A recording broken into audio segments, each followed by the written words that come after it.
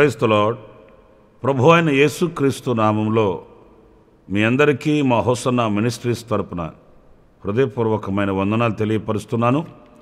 ప్రభు మిమ్మల్ని దీవించి ఆశీర్వదించునుగాక. పురులరా పరిశుద్ధ గ్రంథంలో ఈరోజున ద్వితీయోపదేశకాండం పదిహేడవ అధ్యాయం ఇరవయవ వాక్యాన్ని మనం చదువుదాము. ఇందులో చివరి భాగాన్ని మనం చదివితే తాను బ్రతుకు దినములన్నిటను ఆ గ్రంథమును చదువుచుండవలెను. ఇక్కడ ధర్మశాస్త్ర గ్రంథాన్ని అంటే దేవుని వాక్యాన్ని బ్రతుకు దినములన్నిట చదువుచుండవలెను అనే మాట మన వ్యక్తిగత జీవితానికి అన్వయించుకోవాలి. ఎందుకంటే వాక్యము అనేది జీవము కలిగింది. వాక్యం దేవుని మాట. ఒక్క మాటలో చెప్పాలంటే వాక్యమే దేవుడు. ప్రతిదినము మనం దేవుని వాక్యాన్ని చదివిన వారమే అయితే మనం ప్రభువుని దర్శించిన వారం అవుతాము ఈ వాక్యం మనకు ఆదరణ కలిగిస్తుంది ధైర్యాన్ని కలిగిస్తుంది గమ్యాన్ని చూపిస్తుంది విశ్వాసాన్ని కలిగిస్తుంది. ఇంకా మన వ్యక్తిగత బ్రతుకులలో కావలసిన ఓర్పును నేర్పును సహనాన్ని సంతోషాన్ని సమృద్ధిగా కలిగిస్తుంది. ఈ దేవుని వాక్యం. గనుక ఆ దేవుని వాక్యాన్ని మన బ్రతుకు దినములన్నిటా మనం చదవాలట. మనకున్న అలవాటు ఏంటంటే ఎప్పుడైనా మనం కష్టంగా ఉన్నప్పుడు శ్రమలు ఎదురైనప్పుడు శోధనలు ఎదురైనప్పుడు ఇబ్బందుల కొలిమిలో పుటము వేయబడుతున్నప్పుడు అప్పుడు చదువుతాము దేవుని వాక్యాన్ని. అప్పుడు దేవుని వాక్యం దగ్గరికి వెళ్ళి ఆదరణ కొరకై మనం అరులు చాచుతాము. కానీ ఏదో శోధన కలిగినప్పుడు లేక సమృద్ధిలో ఉన్నప్పుడు మాత్రమే కాకుండా మన బ్రతుకు దినములన్నిట కూడా ఈ ధర్మశాస్త్ర గ్రంథాన్ని ఈ జీవవాక్యాన్ని ఈ సత్యవాక్యాన్ని మనము చదువుచుండవలెను అని దేవుని వాక్యం చెబుతుందండి. గనుక ఇక మీదటనైనా ఈ దేవుని వాక్యాన్ని మన జీవితకాలమంతయు చదవడానికి మనం నిర్ణయం తీసుకోవాలండి. ఒక ఒడంబడిక చేసుకోవాలి దేవునితో. మనం ఆయనతో ఒక ప్రతిష్ఠిత చేసుకోవాలి. ఎందుకంటే వాక్యం లేని కుటుంబమైన వాక్యం లేని హృదయమైన ఎండిన ఎడారితో సమానమండి. జీవజలము దేవుని వాక్యం. అది కురిపించబడిన వర్షము లాంటిది. దేవుని వాక్యం. గనుక ఈ వాక్యాన్ని హత్తుకొని బ్రతుకుతూ ఈ వాక్యాన్ని మనము బ్రతుకు దినములన్నిట చదువుతూ శక్తిని పొందుకుంటూ విశ్వాసపు యాత్రలో మనము ముందుకు వెళ్ళవలసిన వారమై ఉన్నాము అనే విషయాన్ని మరొకసారి దేవుని వాక్యాన్ని బట్టి నేను మీకు జ్ఞాపకం చేస్తున్నాను. అయితే ఇక్కడ కొన్ని విషయాలు నేను మీతో చెప్పాలి. అదేంటంటే ఈ దేవుని వాక్యాన్ని ఎలా చదవాలి అనేది ఒక రెండు మూడు విషయాలు నేను మీతో చెప్తాను. ప్రాముఖ్యంగా లూకాస్ వార్త నాలుగవ అధ్యాయం పదహారవ వాక్యంలో మనం గమనించినప్పుడు ఆయన తాను పెరిగిన నజరేతుకు వచ్చెను. తన వాడుకు చొప్పున విశ్రాంతి దినమందు సమాజ మందిరంలోనికి వెళ్ళి చదువుటకై నిలుచుండగా చూశారండి. వాడుకు చొప్పున ఆయన సమాజ మందిరానికి వెళ్ళి చదువుటకై నిలుచుండగా అంటే ఆయనకి సమాజ మందిరానికి వెళ్ళి దేవుని వాక్యాన్ని నిలుచుండి చదవడం వాడుక. అంటే ధర్మశాస్త్ర గ్రంథాన్ని దేవుని వాక్యాన్ని ఒక వాడుకగా మనం చదవాలండి. వాడుకగా చదవాలి. ఉదయాన్నే లేచామా? మనకు వాడుకైన పనులు కొన్ని ఉంటాయి. మనం తూచా తప్పమండి. వ్యాయామం చేస్తాము. లేక నిద్ర లెగగానే కాఫీ తీసుకుంటాము. ఇక మన కార్యక్రమాలు కొన్ని వాడుక చొప్పున. ఒకవేళ సునామీ వచ్చినా కూడా ఆ వాడుక మనం తప్పిపోమండి. ఎందుకంటే అలవాటైపోయింది కొన్ని సంవత్సరాలుగా. ఆ రీతిగానే దేవుని వాక్యాన్ని చదవడం ఒక వాడుకగా మనం చేసుకోవాలండి. ఒక దినంలో ఒక సమయాన్ని కేటాయించుకొని. ఆ దినం ఆ సమయాన ఎన్ని పనులు ఉన్నప్పటికీ ప్రక్కన పెట్టి దేవుని వాక్యం కంటే మించిపోయింది ఏమీ లేదు. దేవుని వాక్యం కంటే ఘనమైనది ఏమీ కూడా లేదు. అసలు మనకు జీవాన్ని ఇచ్చేదే దేవుని వాక్యం అన్నప్పుడు మనం జీవాన్ని పో పోగొట్టుకుంటే మనకేం ప్రయోజనం? అందుచేత ప్రతిదినం ఎన్ని కార్యక్రమాలు మనకు ఉన్నప్పటికీ ఆ దేవుని వాక్యానికి ఇవ్వవలసిన సమయాన్ని దేవుని వాక్యానికి కేటాయించి వాడుకగా వాడుకగా వాడుకగా మీకు ఒక సందేహం వస్తుంది. ఏమండి నేను ఇంతకు ముందే పరిశుద్ధ గ్రంథాన్ని నేను చదివేశానండి. అందుచేత ఒకసారి చదివేశాను కనుక ఇక మరలా అవసరం లేదు కదా అని అనుకోవచ్చు. కానీ దేవుని వాక్యం ఎలాంటిదంటే అది త్రవ్వుచూ ఉన్న కొలది పెరిగే గని. ఈ అరవై ఆరు పుస్తకాలతో పొందుపరచబడిన ఈ పరిశుద్ధ గ్రంథం ఏదో సంవత్సరం రెండు సంవత్సరాలకి చదివి ముగించేది కాదండి. మన బ్రతుకు దినములన్నిట వాడుకగా మనం చదువుతూ ఆ వాక్యములో ఉన్న సత్యాన్ని వాక్యములో ఉన్న సారాన్ని ఆ వాక్యములో నిగూఢమై ఉన్న అర్థాన్ని మనం తెలుసుకొని ఒక నూతనమైనటువంటి బలాన్ని ప్రతిదినం పొందుకోవాలి. మనం ఆహారం తీసుకుంటాము. ఉదయాన్నే ఆహారం తీసుకున్నామని చెప్పి మధ్యాహ్నం తీసుకోకుండా ఉంటామా? సాయంకాలం తీసుకోకుండా ఉంటామా? పోనీ ఉదయాన్నే ఆహారం తీసుకున్నాము. మరుసటి రోజు అదే ఆహారాన్ని మరలా తీసుకుంటున్నాం కదా? అందుచేత వాక్యానికి ఎక్స్పైరీ డేట్ ఏమీ లేదు. ఈ వాక్యం అయిపోయింది.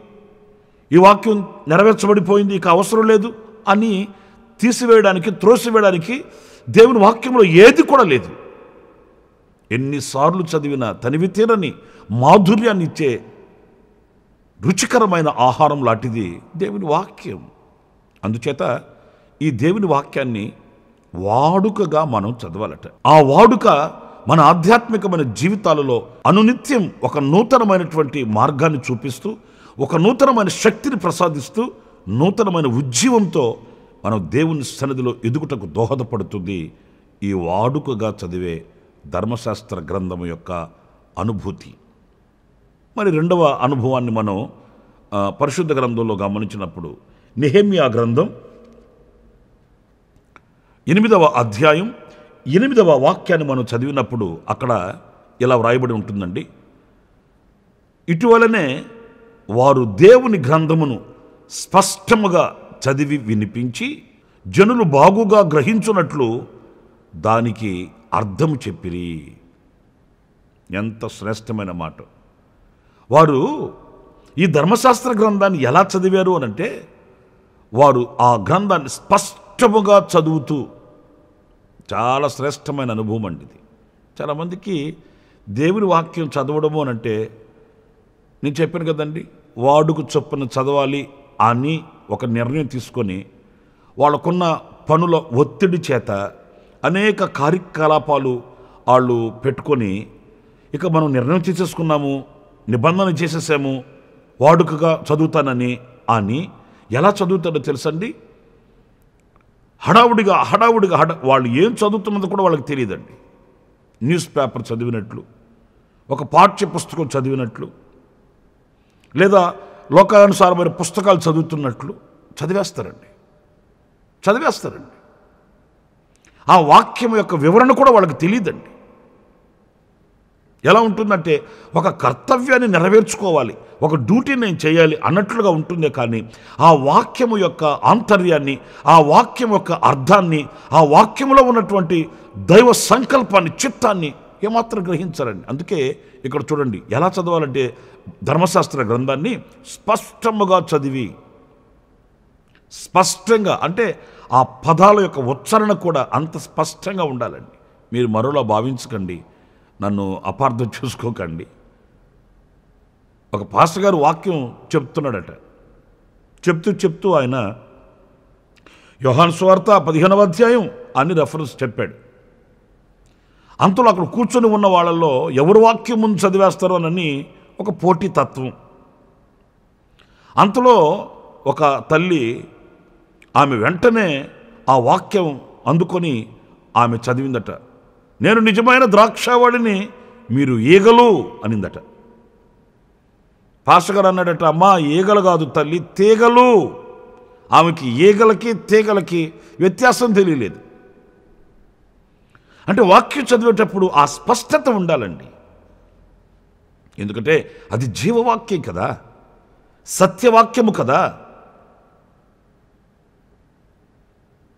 ఆ వాక్యాన్ని అర్థం చేసుకుని ఎక్కడ మనం ఆ పదజాలాన్ని ఎలా ఉపయోగించాలి ఎలా ఉచ్చరించాలి చదవాలి అనే గ్రహింపు మనం కలిగిన వారమై ఆ వాక్యాన్ని స్పష్టంగా చదివి దాని అర్థాన్ని తెలుసుకోవాలంటండి. ఒక పాస్టర్ గారు ఎవరు చెప్తున్నారట ఏలియా దుప్పటి కింద పడెను. అని చదువుతున్నాడట. ఏలియా దుప్పటి కింద పడేదేంటి? ఏలియా యొక్క దుప్పటి కింద పడింది. స్పష్టంగా ఉండాలి కదండి. ఆయన దాన్ని అలా చదువుకొని ఏలియా దుప్పటి కింద పడ్డాడు. ఏలియా దుప్పటి కింద పడ్డాడు. దుప్పటి కింద పడేదేంటి ఏలియా యొక్క దుప్పటి కింద పడింది. ఎలిషా మీద ఆ దుప్పటి పడింది. ఆయన అభిషేకాన్ని పొందుకున్నాడు. ఇది మనం గ్రహించవలసిన విషయం. దాని అర్థం ఏంటి? మనకు కావలసిన ఆ వాక్యాన్ని మాత్రమే తీసుకొని మనం ఉచ్చరించడం కాదు. దాని ముందు వెనుక పదాలేంటి ముందు వెనుక ఉన్న ఆ యొక్క సన్నివేశం ఏంటి? ఇవన్నీ పరిశుద్ధ గ్రంథాన్ని చదువుకునేటప్పుడు మనసు ఎక్కడో పెట్టి మనుషులు నిలిచి ఏదో చదవడం కాదండి.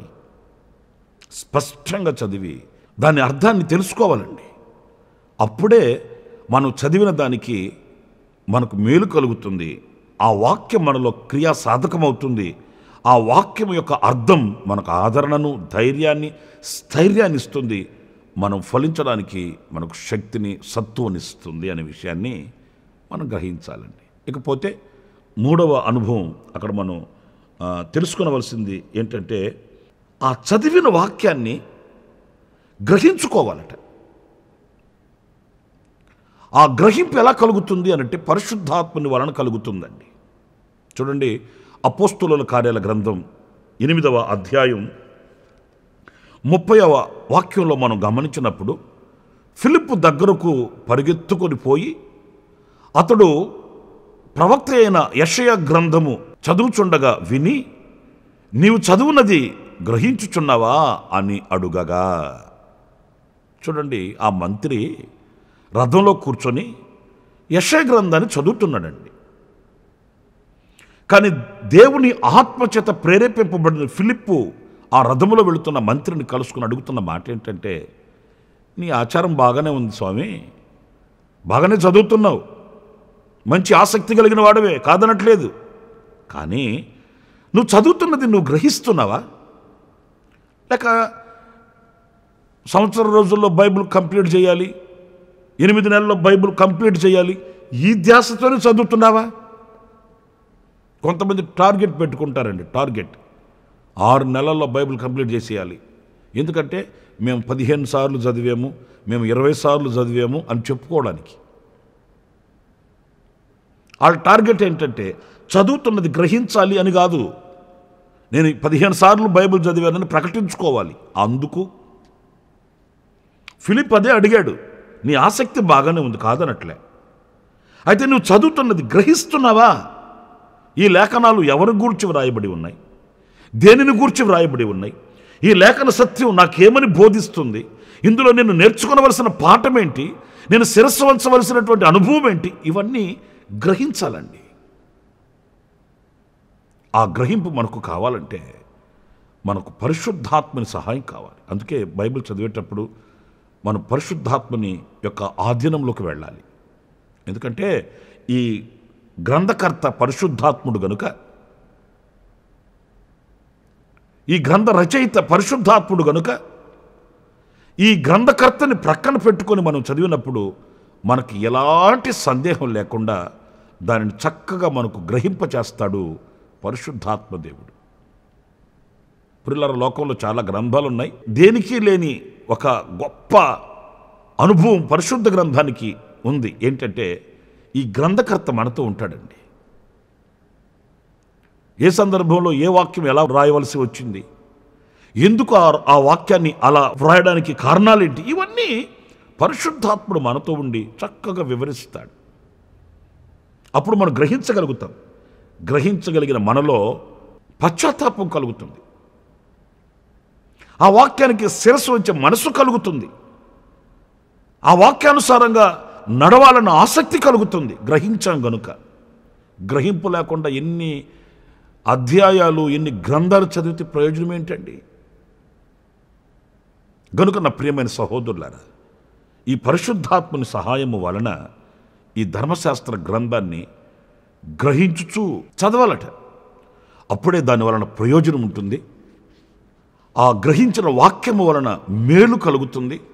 మనము జీవము కలిగిన మార్గంలో నడిపించబడడానికి సమ్మతి అయిన మనస్సు కూడా మనకు లభ్యమవుతుందనే విషయాన్ని మనం గ్రహించాలి. ఇకపోతే నాలుగో విషయము ఈ ధర్మశాస్త్ర గ్రంథాన్ని ఎలా చదవాలి అనంటే పరిశీలించి చదవాలంటండి. చూడండి యశయ గ్రంథం ముప్పై నాలుగవ అధ్యాయం పదహారవ వాక్యాన్ని మనం గమనించినప్పుడు యహోవ గ్రంథమును పరిశీలించి చదువుకొనుడి. చూసారండి పరిశీలించి చదవాలంట. అంటే పరిశీలించి చదవడం అంటే ఏంటి? ఈ వాక్యం ఎలా వ్రాయబడి ఉంది? ఈ వాక్యానుసారంగా నేను బ్రతకడానికి నాకు ఆధారాలు ఏంటి? ఈరోజు నా లోకానుసారంగా బ్రతుకుతున్న బ్రతికేంటి? ఆత్మానుసారంగా బ్రతుకుతున్న బ్రతికేంటి? ఆత్మానుసారమైన బ్రతుకునకు ఈ వాక్యం ఇలాగా మనకు వివరిస్తుంది. దీని యొక్క ఆంతర్యం ఏంటి అని పరిశీలన ఉండాలండి. పరిశుద్ధ గ్రంథంలో మరొక మాట ఇరిమియా గ్రంథంలో మనం చదువుతాం. మేలైన మార్గం ఏంటో పరిశీలించి తెలుసుకోమన్నాడు. పరిశీలించడం తప్పేమి కాదండి. పరిశుద్ధ గ్రంథంలో ఇలా వ్రాయబడి ఉంది. మరి లోకంలో ఇలాగా చెప్తున్నారు. ఏది? మనకు ఆశీర్వాదాన్ని కలిగిస్తుంది. ఏది మనకు దీవెన కలిగిస్తుంది? లోక ఆచారాలు ఇలా ఉన్నాయి? మరి పరిశుద్ధ గ్రంథం ఇలాగ వ్రాయబడి ఉంది? మరి ఏది మనకు మరి ఉన్నతమైనటువంటి పురోగతిని కలిగిస్తుంది? లోకంలో కనబడుతున్న కొన్ని అనుభవాలు పరిశుద్ధ గ్రంథంలో ఉన్నాయా? లేవా? గనుక ఈ పరిశీలన మనకు ఉండాలండి. ఏదో వాక్యాన్ని చదివేసి గ్రహించకుండా విడిచిపెట్టేసి మరలా లోకానుసారంగా బ్రతికితే ప్రయోజనం ఏంటి? నన్ను ఒక తల్లి ఇంటికి ప్రార్థన చేయించుకోవడానికి పిలిచింది. వెళ్ళా. ఆ తల్లి నాతో చెప్తుంది అయ్యా ప్రార్థన చేసి ఈ ఉప్పు కొండ తీసుకుని వెళ్ళి ఇంట్లో పెట్టేసి రావాలయ్యా నువ్వు కొత్త ఇల్లు కదా? అంటుంది. నేను ప్రార్థన చేసి ఉప్పు కొండ ఇంట్లో పెట్టి వచ్చేదేంటమ్మా అంటే ఆమె అంటుంది అయ్యా పెద్దలు పెట్టిన ఆచారాలు కదయ్యా చేయాలయ్యా అంటుందండి. నేను కోప్పడ్డాను. అంతలో ఆమె అంటుంది సర్లే బాబు నువ్వు కోప్పడి బాధగా అలా చేయదులు కానీ కనీసం పాలను బొంగి చెల్లు. నేను పోయి మంటేసి పాలు బొంగిచ్చి రావాలట ప్రార్థన చేసి. ఆమె అంటుంది పెద్దల ఆచారాలయ్యా ఇవే అంటుందండి. అంటే ఆమెకి వాక్యాన్ని పరిశీలించే జ్ఞానం లేదు. వాక్యాన్ని వాక్యానికి గుర్తించే జ్ఞానం లేదు. ఈ లోక సంబంధంగా కనబడుతున్న ఈ ఆచారాలు దైవ సంబంధమైనవా? లోక సంబంధమైనవా అని వివేచించి పరిశీలించి తెలుసుకునే ఆ విజ్ఞానం ఆ యొక్క పరిశీలన జ్ఞానం ఆమెకు లేదు. ఆమె కాదు ఈరోజు చాలామంది ఈ మార్గంలోనే వెళుతున్నారండి. వాక్యాన్ని చదువుతారు వాక్యాన్ని వింటారు ఆదివారం ప్రజెంట్ వేయించుకుంటారు కానీ పరిశీలించరు. వాళ్ళ కార్యకలాపాలలో సాగిపోతుంటారు. వాళ్ళు నమ్ముకున్నదే భక్తి అనుకుంటుంటారండి. పరిశీలించి వాక్యమందు ఈ కాలాన్ని గురించి గతించిపోయిన కాలాన్ని గూర్చి రాబో కాలమును గూర్చి పరిశుద్ధ గ్రంథం ఏం చెప్తుంది? ఆ వాక్యాన్ని పరిశీలించి ఈ ఇప్పుడు మనం ఏ కాలంలో ఉన్నాం? ఎక్కడికి సిద్ధపడుతున్నాము? మన గమ్యమేంటి మనం చేరవలసినటువంటి ఆ గమ్యానికి మనం ఎలా చేరగలము? ఇవన్నీ పరిశీలించి వాక్యాన్ని చదువుకున్నప్పుడు మనకు పరిశీలనగా అవి ప్రత్యక్షమవుతాయి అనే విషయాన్ని మనం మర్చిపోకూడదు. నాలుగు విషయాలు నేను మీతో చెప్తూ వచ్చాను. నా ప్రియమైన సహోదరులారా గనుక మన బ్రతుకు దినములన్నిట కూడా ఈ ధర్మశాస్త్ర గ్రంథాన్ని చదవాలి. చదవాలి. ఆ చదివే వాక్యాన్ని ఎలా చదవాలి అనేది నాలుగు విషయాలను మీకు ప్రకటిస్తూ వచ్చాను. పరిశీలించి దేవుని వాక్యాన్ని చదవాలి. గ్రహించుచు దేవుని వాక్యాన్ని చదవాలి. స్పష్టంగా దేవుని వాక్యాన్ని చదవాలి. వాడుక చొప్పున దేవుని వాక్యాన్ని చదవాలి. అప్పుడే దేవుని వాక్యములో ఉన్న జీవము దేవుని వాక్యములో ఉన్న ఆశీర్వాదాన్ని అనునిత్యము మనం పొందుకొని శక్తివంతులము కాగలుగుతాము. ప్రభు మహిమ కలిగిన రాకడకు మనం సిద్ధపరచబడగలుగుతామనే సత్యాన్ని మీరు గ్రహించాలి. అలాంటి కృప దేవుడు మనందరికీ అనుగ్రహించునుగాక. ఆమె తలలు వంచండి. చిన్న ప్రార్థన చేసుకుందాం. కృపా సత్య సంపూర్ణుడా జీవాధిపతి అయిన మీకు వందనాలు నాయన. నీ సత్య మార్గంలో మేము నడుచుటకు ఓ సత్య గ్రంథాన్ని మీరు మాకు అనుగ్రహించారు నాయన అందుకు మీకు వందనాలు. ఈ గ్రంథాన్ని మా బ్రతుకు దినములంటే మేము చదవాలి. అది ఎలా చదవాలి అనేది కొన్ని విషయాలు మేము ధ్యానిస్తూ వచ్చాం. ఆ రీతిగా మేము ఈ సత్య గ్రంథాన్ని చదువుతూ శక్తిని పొందుకొని మీ మహిమ కలిగిన రాకడకు మేము సిద్ధపరచబడుటకు సహాయం చేయమని మమ్మల్ని అందరినీ మీ చేతులు సమర్పించుకుంటూ ఏసునామములో ప్రార్థించి వేడుకొనుచున్నాను తండ్రి. ఆమెన్. ఆమెన్. ప్రభు మిమ్మల్ని ఆశీర్వదించి దీవించునుగాక. ఈ దినమంతా విశేషమైన కృప నా దేవుడు మీకు ప్రసాదించునుగాక. ఆమెన్. ప్రతి దినము ఈ అనుదిన కృపాను సందేశాల కొరకు ఇంకా మరిన్ని ఆత్మ సంబంధమైన సందేశాల కొరకు ఈ మా యూట్యూబ్ ఛానల్ని సబ్స్క్రైబ్ చేసుకోండి. Pastor Ramesh hosanna ministries